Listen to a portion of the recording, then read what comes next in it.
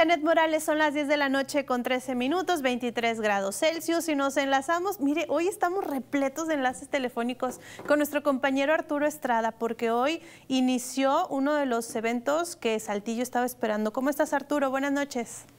Muy buenas noches, Lucero. Pues efectivamente llega Saltillo el fin de semana más vaquero del año con el arranque del rodeo Saltillo, Expogan Saltillo Fest.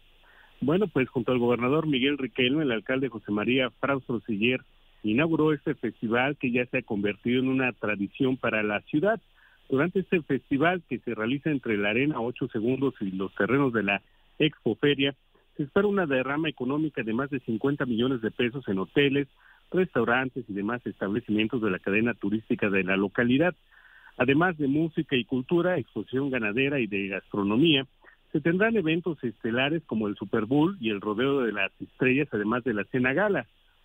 El Super Bowl contará con montas profesionales y la presencia de campeones mundiales en la especialidad, mientras que la gran cabalgata espera reunir a más de 500 jinetes.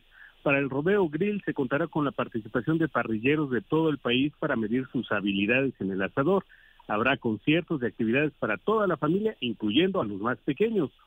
Durante este fin de semana se espera también una asistencia de más de 30 mil personas el evento dio inicio esta noche con la cena de gala a favor de los programas quirúrgicos del DIF Saltillo, recordando que gracias a la cena del año pasado del rodeo, se recaudó más de un millón de pesos y se pudo cambiar la vida de tres niños de escasos recursos.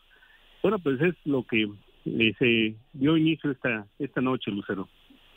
Muchísimas gracias, Arturo. Pues sin duda es un evento importantísimo para los saltillenses y que genera una gran derrama económica. Ya estábamos viendo también al resto de los funcionarios prácticamente todos ensombrerados y ojalá que sea un evento en el cual pueda la familia divertirse bastante. Así que dése la vuelta y aquí estaremos al pendiente de más detalles. Un abrazo, Arturo.